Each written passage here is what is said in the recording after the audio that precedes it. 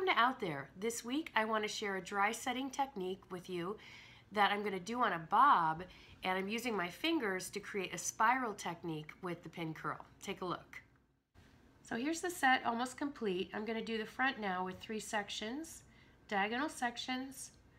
I'm combing it up with my fingers to keep it a little less perfect using some Strength and Control hairspray from Pureology and then I'm going to use my two fingers, wrap it around so it kind of spirals itself. I'm tucking the ends in and putting it into a stand-up barrel curl. And the product that we use to prepare the hair first is Root Lift, which is going to give you a nice foundation in there. Um, we blew it, blew it dry and then doing the set as you can see now.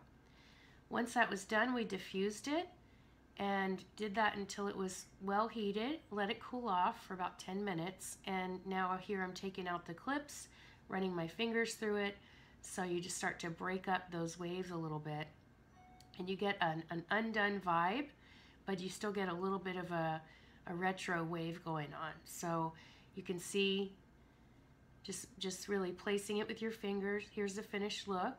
So you get that because of the pattern that was set in it you get that wave and it just looks really natural like it just happened.